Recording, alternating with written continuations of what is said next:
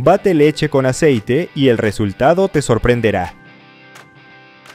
Comienza añadiendo 100 ml de leche en un frasco de vidrio de 500 ml. Luego, agrega 200 ml de aceite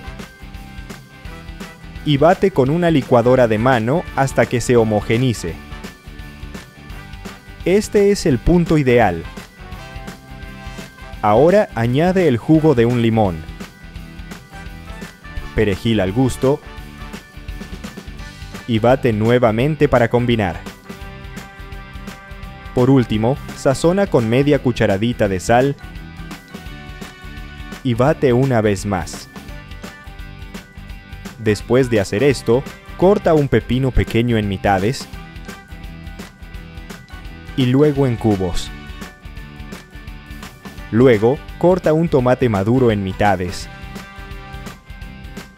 en tiras y en cubos.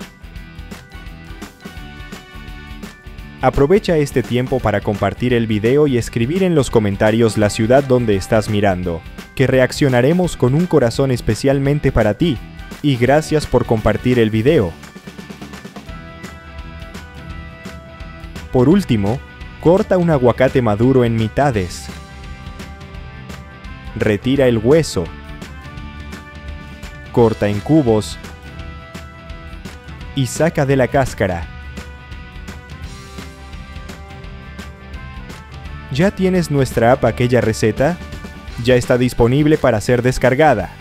Con ella, tendrás todas las recetas en la palma de tu mano y serás notificado cada vez que hagamos una nueva receta.